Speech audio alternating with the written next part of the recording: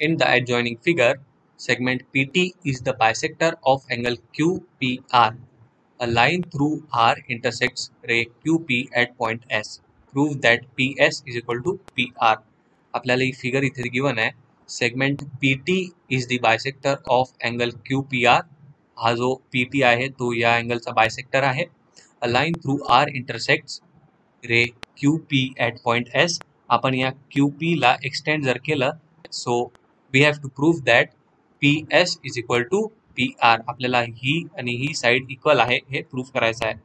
Given segment P T is the bisector of angle Q P R PT is bisector of QPR. We have to prove that PS is equal to PR. Construction करून घेऊया आपण. Draw segment P T parallel to segment S R आपण R S हा P टीला parallel काढून घेऊया. Proof segment P T is the bisector of angle Q P R segment P T हा जो आहे तो या अँगलचा bisector therefore angle Q P T is equal to angle R P T हे दोन्ही अँगल्स इक्वल आहेत. Segment P T is parallel to segment S R ह्या दोन्ही lines एकामेकांना parallel आहेत. आणि सेगमेंट क्यू एस जी आहे, ही ट्रान्सवर्सल आहे. Q S ही वाली जी लाईन आहे, ती ट्रान्सवर्सल आहे by construction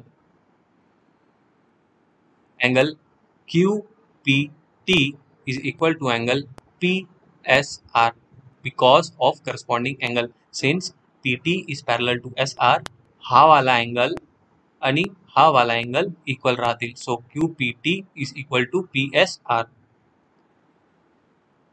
segment P T is parallel to S R and segment P R is the transversal ही वाली जी लाईन आहे पी आर ती या दोन लाईन दो पैरल लाइन्स की ट्रांसवर्सल बनना है so we can say that angle R P T this R P T this angle and P R S this angle are alternate angles and so this two angles are equal ये दोनों angles alternate angles हैं so ये दोनों angles equal so angle R P T is equal to angle P R S ये अपल equation three है angle PRS is congruent to angle PSR angle PRS is congruent to angle PSR by by first second and third equation आपण वरच्या तीन इक्वेशन्सला जर observe केलं, तर आपल्याला angle P R S is congruent to angle P R S is congruent to angle P S R हे मिळेल.